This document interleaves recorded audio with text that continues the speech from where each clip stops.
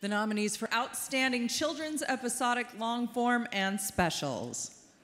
The Writers Guild Award goes to Howard Jordan Jr. for Remember Black Elvis Family Reunion.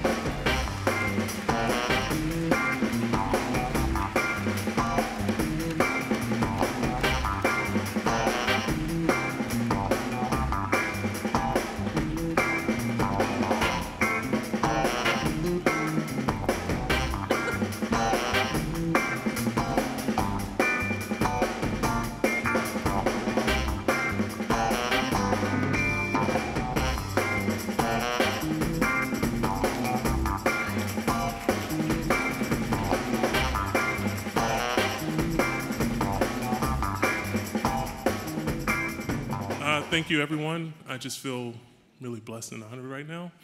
Um, I want to thank Meg DeLoatch, our showrunner, creator of the show. Uh, I can't see a thing, but it was her vision, and she allowed me, she gave me an opportunity and allowed me to be a part of it. I want to thank Table 230. I think it was pretty audacious for Meg to have an all black writer's room. And I wouldn't be standing here without her vision, her reading a sample of mine and giving me a shot. And that table over there, we wrote a show about a black family, and that's my little black family in LA. So thank you. And uh, my wife in the back for my for our marriage, our two beautiful children. I don't know if I'll ever be here again, so I just want to say everything. Love you all.